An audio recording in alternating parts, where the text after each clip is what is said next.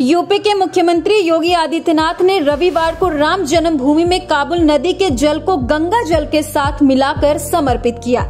यह जल काबुल की एक बालिका ने प्रधानमंत्री नरेंद्र मोदी को भेजा था। प्रधानमंत्री ने इसे राम जन्मभूमि में समर्पित करने के लिए योगी आदित्यनाथ को भेजा। मुख्यमंत्री इसी जल को लेकर अयोध्या पहुँचे। उन्होंने राम मंदिर निर्माण स्थल पर पूजन अर्चन करते हुए काबुल नदी और गंगा जल को समर्पित किया। इसके पहले मुख्यमंत्री ने रामलला का दर्शन किया और आरती उतारी। साथ ही राम जन्मभूमि परिसर में चल रहे निर्माण कार्य का अवलोकन भी किया। वहीं तकनीकी विशेषज्ञों ने नक्शे के माध्यम से मंदिर निर्माण की प्रक्रिया से मुख्यमंत्री को अवगत कराया। इस दौरान मुख्यमंत्री योगी ने कहा कि राम जन्मभूमि में मंदिर निर्माण का कार्य युद्ध स्तर पर चल रहा है।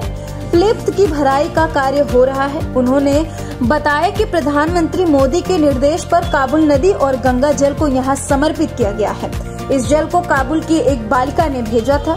काबुल की महिलाओं और बालिकाओं की पीड़ा के साथ भारत की संवेदना को जोड़ते हुए रामलला की जन्मस्थली पर जल को अर्पित करने का सौभाग्य मिला।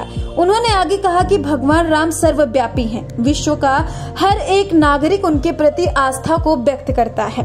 काबुल की बालिका की भावना का सम्मान करते हुए प्रधानमंत्री ने इस कार्य के लिए मुझे भेजा। इसलिए मैं विशेष रूप से यहाँ आया। इस जल को रामलला के चरणों में अर्पित करने के बाद राम जन्मभूमि को समर्पित किया। आगे मुख्यमंत्री ने यह भी कहा कि पूर्व में भारत की विभिन्न नदियों का जल राम जन्मभूमि लाया गया था। इसी कड़ी में काबुल नदी के जल को भी यहाँ समर्पित किया गया।